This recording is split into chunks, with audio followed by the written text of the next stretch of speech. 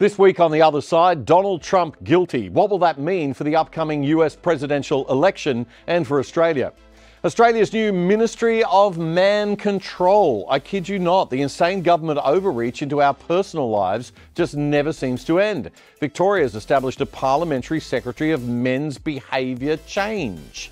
Bettina Arndt will join me to discuss that latest obscenely sexist assault on men in Australia.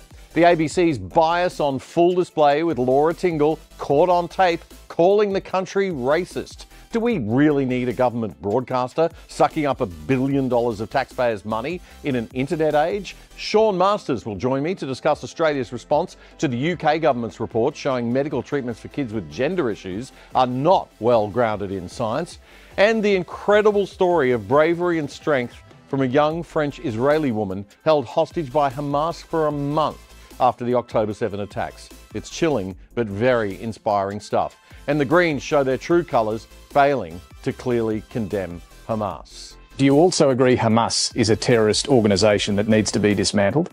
Well, they're, they're listed as a terrorist organisation. Do you support that? And our point is now, well, it's, it's just a fact. They're listed well, I'm as a asking if you support it. Do you think they're a terrorist organisation? Well, we're not, we're not arguing to change that. We're saying they're listed as a terrorist organisation. so organisation. you agree? This weekend's The Other Side, first streaming tonight on ADH TV at 8 pm, then on demand after. And remember, all you've got to do is go to adh.tv on any browser to watch. Join us for Australia's best take on the news and commentary of the moment without the woke.